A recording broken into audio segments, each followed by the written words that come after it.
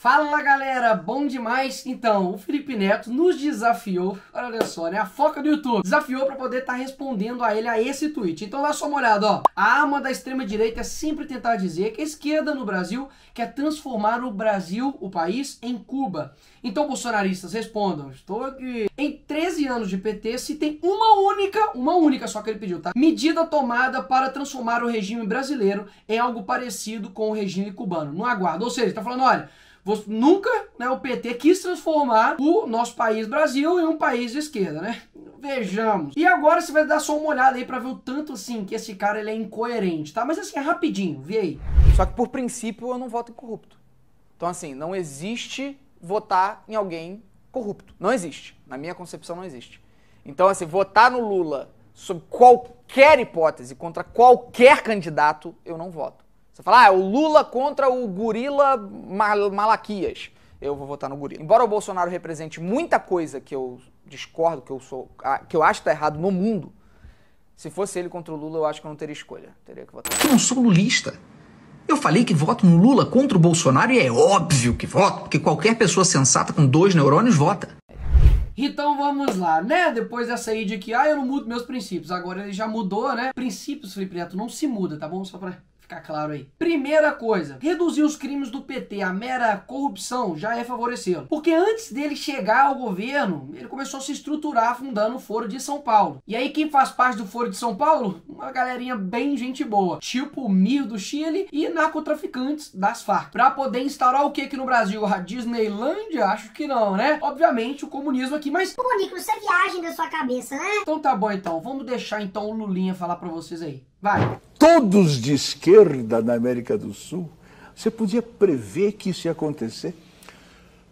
Prever não, mas nós já lutávamos por isso e já trabalhávamos por isso, inclusive porque nós criamos o Fórum de São Paulo, que lutava né, para isso.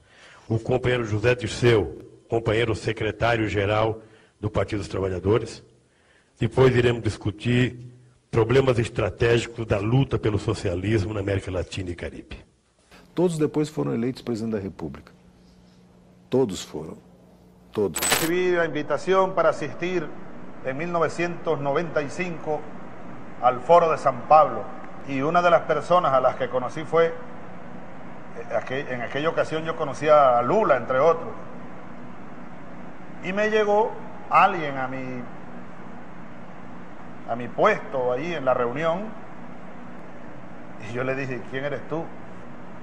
Raúl Reyes, uno de los comandantes de las Forças Armadas Revolucionárias de Colômbia. Por que eu faço questão de mostrar tudo isso? Porque durante muito tempo o pessoal falou, não, isso aí é coisa conspiratória da direita, e tá aí, o próprio Lula, o próprio Zé Disseu falando sobre essa organização que eles criaram lá em 1990 para poder instaurar o comunismo no Brasil, como vocês viram agora. Então, assim, acho que ficou um pouquinho claro, né, a intenção do Lula de tornar o Brasil de esquerda. Mas, vamos lá, vamos, né, a, além disso aí, as coisas que o PT fez aí que se assemelha a Cuba e países de esquerda. Primeira coisa, está Estatuto do Desarmamento. A gente já sabe que em diversos países de esquerda, eles primeiro, né, antes de fazer qualquer tipo de revolução, desarmam a população. Como, por exemplo, foi feito com Mao Tse Tung. Dá só uma olhadinha o que ele diz com relação armamento. Todo o poder político vem do cano de uma arma. O Partido Comunista precisa comandar todas as armas. Desta maneira, nenhuma arma jamais poderá ser usada para comandar o partido. Aconteceu também na Venezuela em 2012, que Hugo Chávez desarmou a maioria da população. Na Argentina começaram um programa em 2007, que destruiu cerca de 250 mil armas e meio milhão de munições. Já na Bolívia, em 2008, com Evo Morales, ele emitiu um decreto para poder tirar a arma da galera e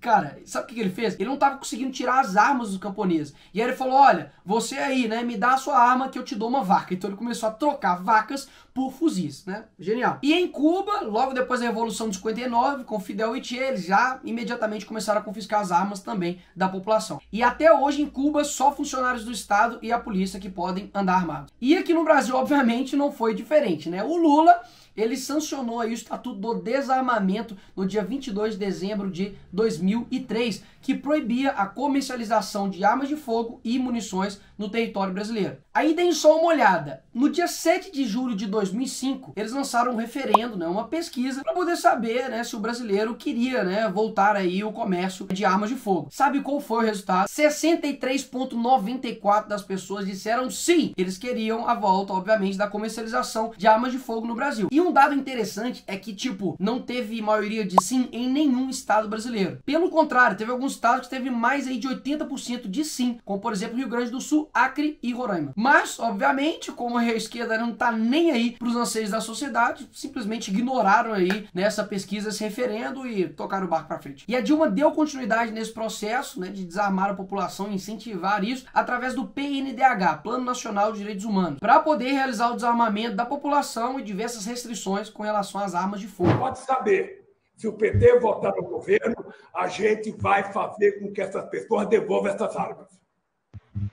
Vamos ter que aprovar outra vez, sabe? Desarmar esse país. Segundo ponto, regulamentação da mídia. Todos nós sabemos que nos países de esquerda, né, comunistas, há uma censura absurda. Peguei aqui o top 10 dos países que mais tem censura e dá só uma olhada aqui lá no top 10 lá. Em segundo lugar está a Coreia do Norte, em quinto a China e em décimo lugar Cuba. Inclusive, recentemente agora, né, nas manifestações que o povo cubano fez contra a ditadura lá em Cuba, lá tem tanta liberdade que a repórter foi presa durante a entrevista, tá ligado? En un momento, estoy dando la entrevista eh, eh, súper nerviosa porque a mí me acabaron de citar ahora mismo. ¿Qué pasó? Dina, Dina, ¿quieres decir algo?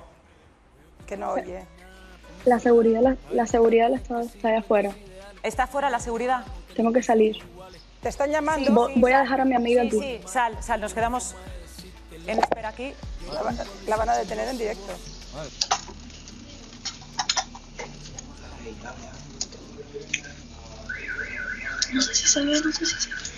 Inclusive, também lá em Cuba, agora, eles cortaram rede social e estão colocando aí diversos ativistas contrários em prisão domiciliar. Mas tem alguém que também defende isso. Quem será? Nós vamos regulamentar os meios de comunicação desse país.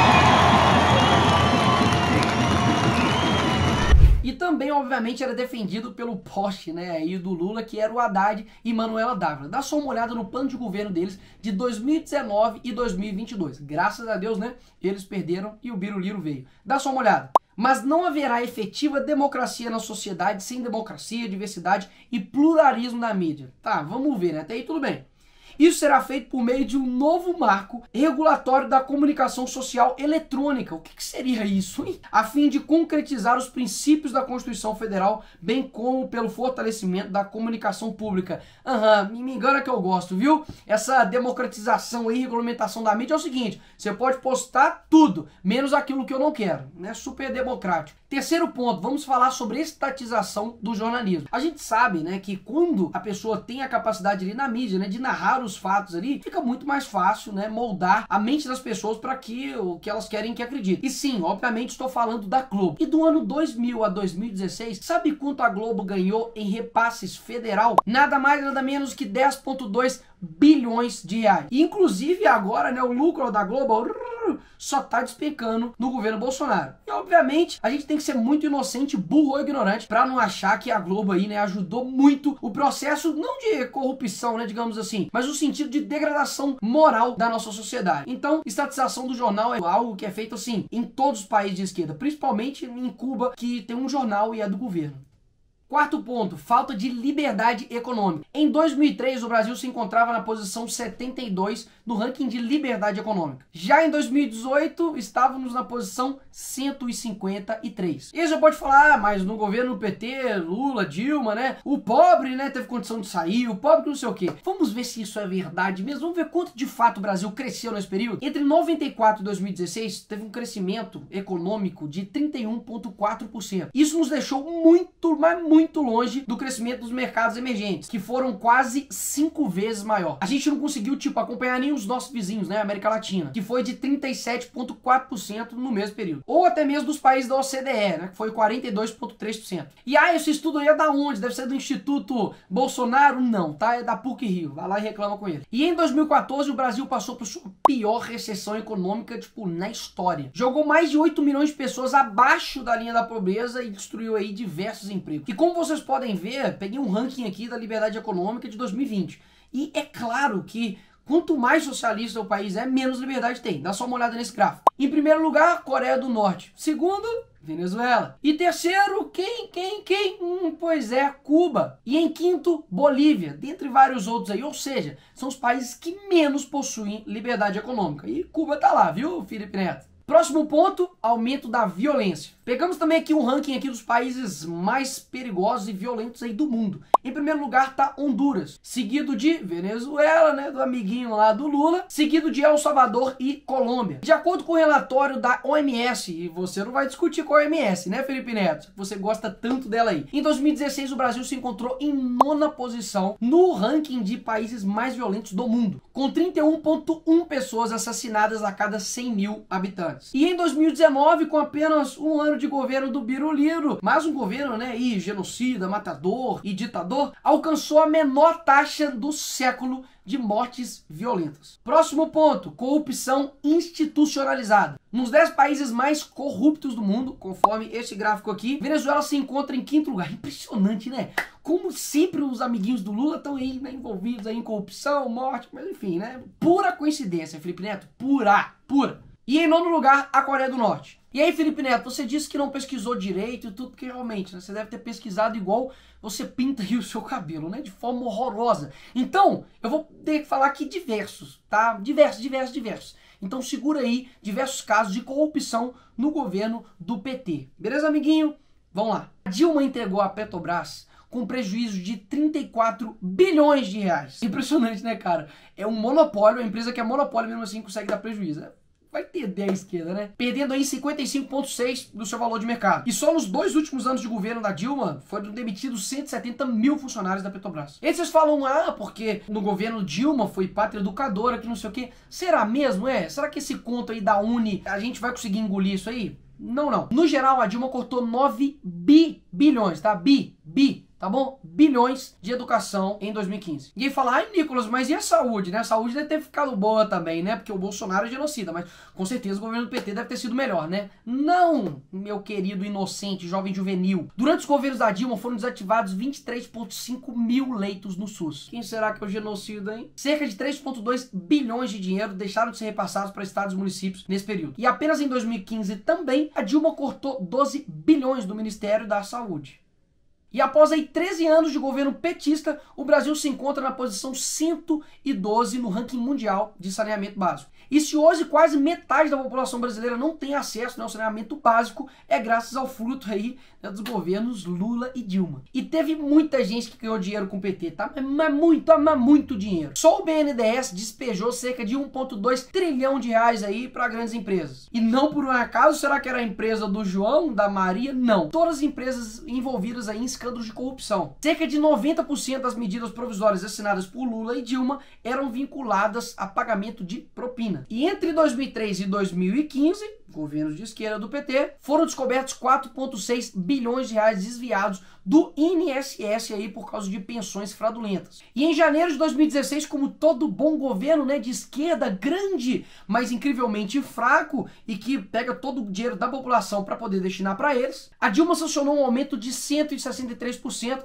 para poder destinar aí para o fundo partidário. Durante os governos petistas, o MTST recebeu cerca de 89 milhões de reais. A CUT, a Central Única dos Trabalhadores, que não trabalham, recebeu cerca de 2,3 milhões de reais. E outras 40 entidades aí ligadas ao MST receberam cerca aí de mais de 40 milhões de reais. E a UNE, que a União Nacional dos Estudantes, que não estudam, receberam aí cerca de 57 milhões de reais. E como todo bom comunista, né, ele não pode deixar aí de gastar em Rolex, gastar né, tomando uma Coca-Colazinha, igual Fidel Castro e Tchê. A Dilma também não poderia deixar de gastar com a sua imagem, né? Gastou cerca de 9 bilhões de reais em quatro anos. Mas também, né, haja cabeleireiro pra poder deixar aquilo ali bonito, né? Convenhamos. E o mais insano de tudo, cara, quando a gente fala, tipo assim, comunista é um 71, que passa a perna, que rouba as coisas dos outros, eu não imaginaria que eles roubariam até mesmo deles mesmos. Um levantamento feito pelo TCU mostrou que nos governos Lula e Dilma sumiram 4.564 bens pertencentes à presidência da república. Mano, os caras, tipo assim, começaram a roubar eles mesmos, entendeu? Ou seja, no fim das contas, eles estavam roubando, era o povo, né? Porque os bens que estão lá